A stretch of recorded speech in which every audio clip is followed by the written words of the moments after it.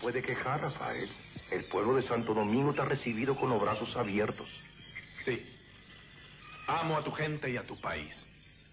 Y deseo corresponder en algo a tanta bondad.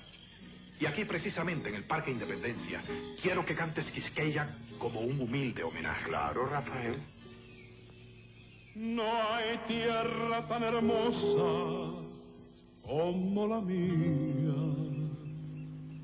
bañada por olas de blanca espuma, parece una gaviota de blancas plumas, dormida en las orillas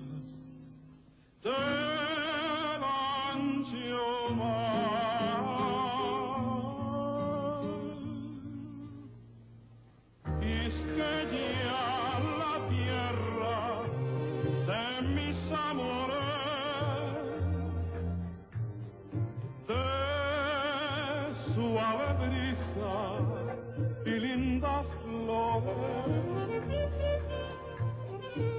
del fondo de los mares la perla querida.